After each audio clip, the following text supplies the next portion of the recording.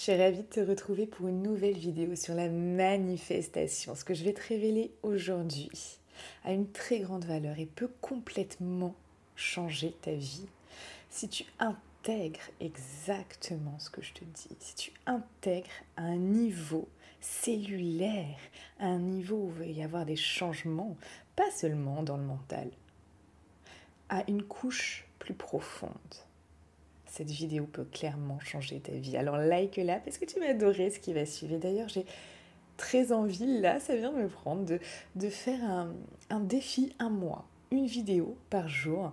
Alors pense bien t'abonner et surtout à activer la cloche pour ne louper aucune vidéo chaque jour.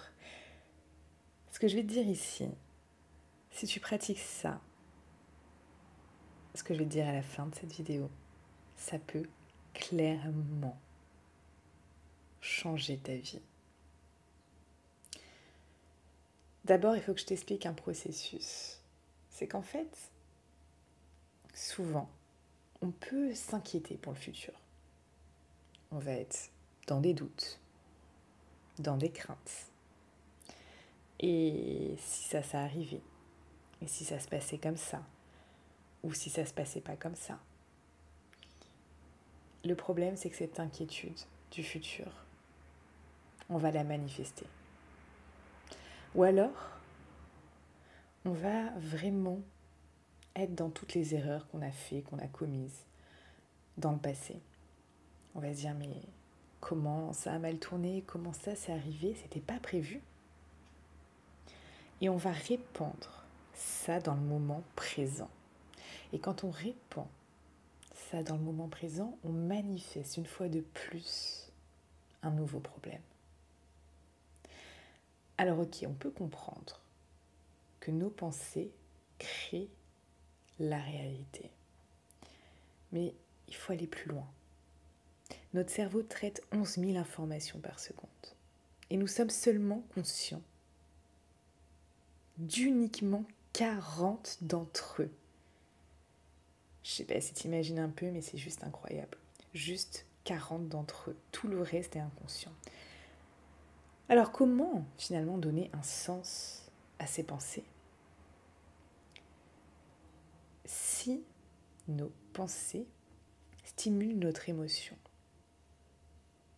Ça veut dire que si on pense assez longtemps, on va commencer à ressentir une émotion et on va commencer à vibrer sur une autre fréquence. Et là, on va pouvoir devenir le match énergétique à ce qu'on veut. Le problème, c'est que souvent on se dit je veux manifester ça. Et donc là, on se place dans le futur. Ou alors, on va penser à quelque chose qu'on a fait de mal et on va se dire est-ce que je peux encore manifester parce que j'ai fait ça, ça, ça, ça, ça? Et on se place dans le passé. Et en fait, le problème c'est que qu'on se place dans le futur ou dans le passé, ça marche pas. On ne peut pas manifester. Et combien de fois dans la journée nous sommes réellement dans le moment présent? Combien de fois on est vraiment dans ce moment-là? Il y a ce problème aussi quand un défi se présente. Souvent, il se produit et on va, on va être concentré dessus. On va se dire, ok, pourquoi ça s'est produit? Euh, C'était pas censé se passer comme ça, je voulais pas que ça se passe comme ça. Quand il se produit, il fait déjà partie du passé. Et en parlant de lui, en le ressassant, on le remet constamment dans le présent. Et donc on apporte exactement la même vibration dans laquelle on était quand il s'est produit dans le présent. Et on va remanifester, ou manifester tout simplement, des choses semblables à cette vibration.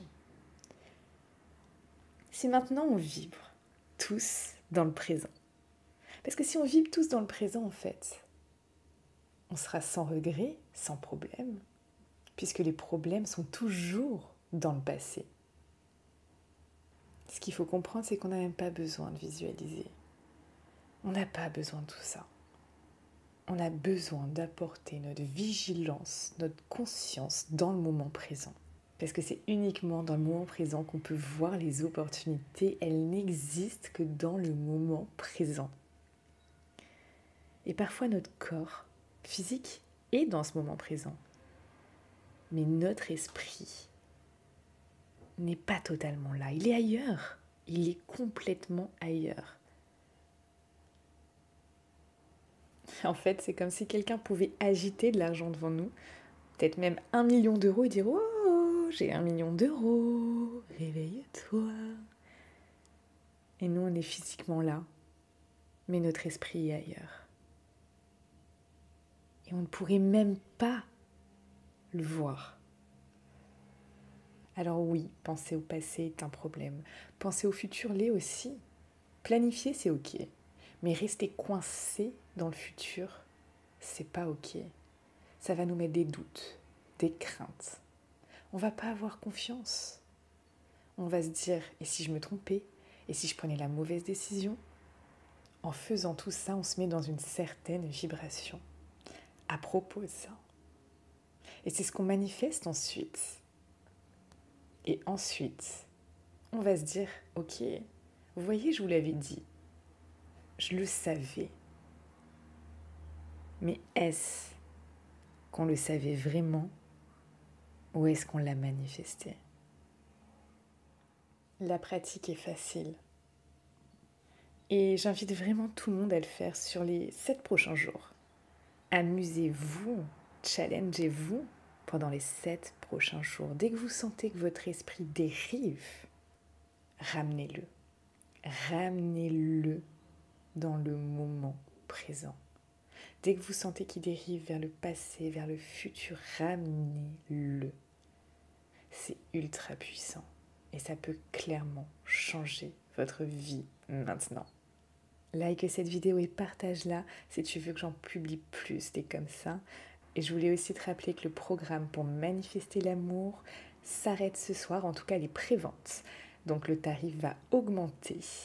Et pareil, si tu es entrepreneur ou tu veux commencer à te mettre à ton compte, la masterclass entreprise magnétique qui peut être une énorme révélation pour toi, qui peut t'emmener au niveau supérieur ou à poser des bonnes bases. Le tarif est en prévente et augmentera d'ici quelques heures. Je te souhaite une excellente journée. Prends soin de toi. Et on se retrouve demain sur mon YouTube Les Ressentis de Mélodie pour une nouvelle vidéo.